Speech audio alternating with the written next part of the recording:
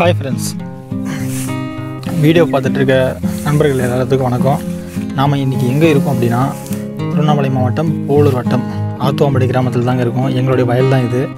நாங்கள் பார்த்தீங்க அப்படின்னா மாப்பிள்ளை சம்பா ஒரு ஒரு ஏக்கர் வந்து பயிர் பண்ணியிருக்கோம். பார்த்திங்கன்னா கதிர் எல்லாமே வந்துருச்சு. பார்த்திங்கன்னா உங்களுக்கே தெரியும். பாருங்கள் இன்னும் கதிரெல்லாம் வந்துச்சு. இன்னும் இருபது நாளில் அறுவடை பண்ணிடலாம். கதிர் எல்லாமே ரொம்ப சிறப்பாக வந்திருக்கு. நாங்கள் பார்த்தீங்கன்னா இயற்கை முறையில் பண்ணியிருக்கோம் எந்த ஒரு பூச்சிக்கொல்லி மருந்தோ எந்த ஒரு யூரியா பொட்டாஷ் எதுவுமே யூஸ் பண்ணல. ஃபுல் அண்ட் ஃபுல் ஆர்கானிக்கில் பண்ணியிருக்கோம் கதிர் ரொம்ப சிறப்பாக வந்திருக்கு. பாருங்கள் அதே மாதிரி நாங்கள் நா நாற்று நடும்போது ஒரு ஒரு நாற்று தான் வச்சு நட்டோம். ரொம்ப அருமையாக களைச்சி பயங்கரமாக வந்திருக்கு. வாங்க உங்களுக்கு போயிட்டு இப்போது அந்த தூர் கட்டியிருக்கு பார்த்தீங்கன்னா அது எண்ணி காமிட்டுறேன் ஒரு ஒரு தூர்லையும் பார்த்தீங்கன்னா இப்படி ஒரு ஐம்பதுலேருந்து நூறு வரைக்கும் கட்டிருக்கும் போல இருக்குது. பாருங்க. இதுதான் ஃப்ரெண்ட்ஸ் மாப்பிள்ளை சம்பா. பயிர் பாருங்க. சரி வாங்க. எவ்வளோ தூர் கட்டியிருக்குன்னு சொல்லிட்டு வாங்க எண்ணி பார்க்கலாம் வாங்க. பாருங்கள் சுத்தமாக எவ்வளோ வயிறு இருக்குது பாருங்கள் பயிர். எல்லாமா?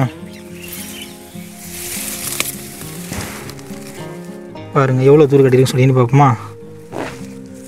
ஒன்று ரெண்டு மூணு நாலு அஞ்சு ஆறு ஏழு எட்டு ஒம்பது பத்து பதினொன்று பன்னெண்டு பதிமூணு பதினாலு பதினஞ்சு பதினாறு பதினேழு பதினெட்டு பத்தொம்போது இருபது இருபத்தொன்று இருபத்தி ரெண்டு இருபத்தி மூணு இருபத்தி நாலு இருபத்தஞ்சி இருபத்தி ஆறு இருபத்தி ஏழு இருபத்தெட்டு இருபத்தொம்போது முப்பது முப்பத்தொன்று முப்பத்தி ரெண்டு முப்பத்தி மூணு முப்பத்தி நாலு முப்பத்தஞ்சு முப்பத்தாறு முப்பத்தி ஏழு முப்பத்தெட்டு முப்பத்தொம்போது நாற்பது நாற்பத்தி ஒரு தூர் கட்டியிருக்குங்க.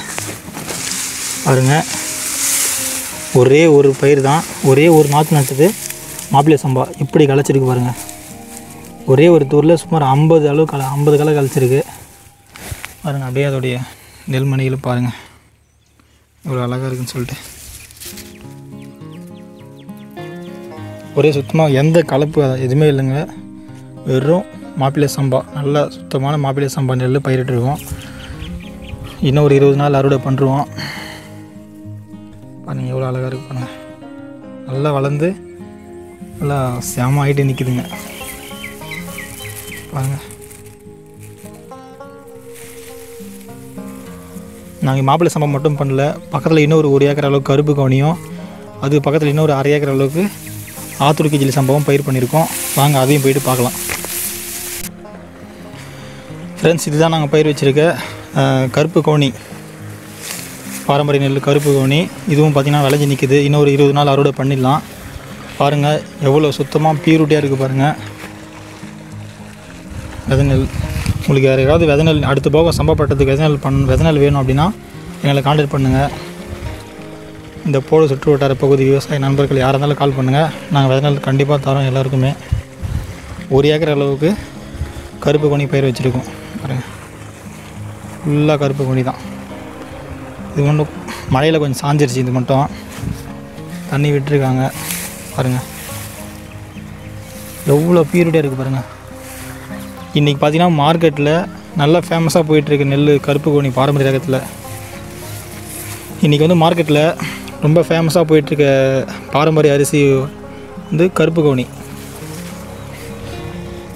உங்களுக்கு யாருக்காவது வித நெல் வேணும் இல்லை அரிசி வேணும் பாரம்பரிய அரிசி வேணும் அப்படின்னா கண்டிப்பாக எங்களை காண்டாக்ட் பண்ணுங்கள் கருப்பு அரிசிக்கு டிமாண்ட் நிறையவே இருக்குது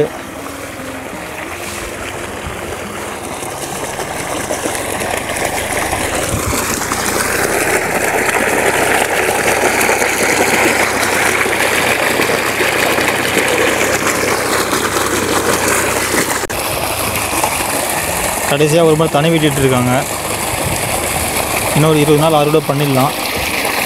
பாருங்க. ஃபுல்லாக கருப்பு கொண்டி தான். ஒரு ஏக்கர் பயிர் பண்ணியிருக்கு அடுத்தது நம்ம பார்க்க போகிற நெல் ரகம் எது அப்படின்னா ஆத்தூர் கிச்சிலி சம்பா. சரி வாங்க அதையும் போயிட்டு பார்த்துருவோம்.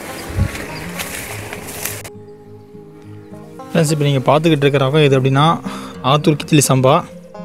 பார்த்தீங்கன்னா அரை ஏக்கர் பயிர் பண்ணியிருக்கோம். இன்னும் அறுவடை பண்ணலை. பொங்கல் கழிச்சு தான் அறுவடை பண்ணணும். ஓரளவுக்கு நெல் மணிலாம் பழுத்துருச்சு.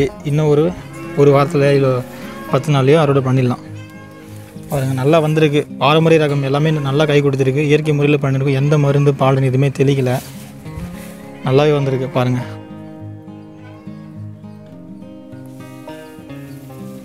கட்டாயம் நம்ம விவசாயிகள் எல்லாருமே இயற்கை பாரம்பரிய நெல்லை பயிர் பண்ணணும். இந்த வாட்டி பார்த்திங்கன்னா எங்கள் பக்கத்து வயல்காரங்க எல்லாருமே ஹைப்ரிட் நெல் பயிர் பண்ணாங்க. சரியானபடி மகசூல் கொடுக்கல மழையில் எல்லாருமே ஃபெயிலியர் ஆயிடுச்சு. ஆனால் பாரம்பரிய நெல் ரக நட்டம் எல்லாத்துமே நல்லா வந்திருக்கு. பாருங்கள் நாங்கள் எந்த செலவுமே பண்ணலைங்க இந்த பாரம்பரிய நெல் ரகத்துக்கு.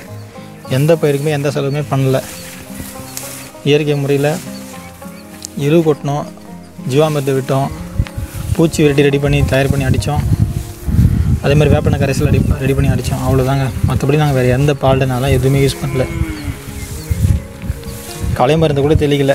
ஆளுங்களை விட்டு தாங்க களை பறித்தோம் நாங்கள் களை பறிச்சதுக்கு மட்டும்தாங்க இந்த இந்த இந்த வயலுக்கு பண்ண செலவு. இந்த எல்லா பாரம்பரிய ரகத்துக்குமே நாங்கள் களை பறிச்சது மட்டும்தான் செலவு. மற்றபடி வேறு எந்த ஓட்டின செலவு. ஆளுங்க நடுநட்டுது. மற்றபடி நாங்கள் உரத்துக்குன்னு சொல்லிட்டு ஒரு ரூபா கூட செலவு பண்ணலங்க. ரொம்ப சிறப்பாக வந்திருக்கு. பக்கத்து வயல்காரங்க எல்லாத்துக்குமே ஹைப்ரிட் நெல் நட்டு சுத்தமாக ஹீல்டு எதுவுமே எடுக்க முடியல. ஆனால் நம்மளுக்கு பாரம்பரிய நெல் ரகம்ன்றபோது நல்லா கை கொடுத்துருக்கு. பரவாயில்ல. நல்லா வந்திருக்குங்க.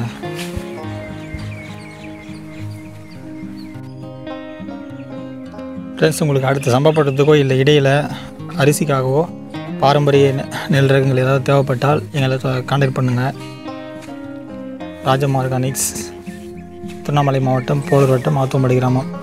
முடிச்ச வரைக்கும் போலூர் திருவண்ணாமலை மாவட்ட நண்பர்கள் வந்து உங்களுக்கு விதை நெல் ஏதாவது வேணும் கலப்பு இல்லாமல் அப்படின்னா காண்டாக்ட் பண்ணுங்கள் நம்மக்கிட்ட இருக்க விதை நெல்லை கண்டிப்பாக பகிர்ந்துக்கலாம்.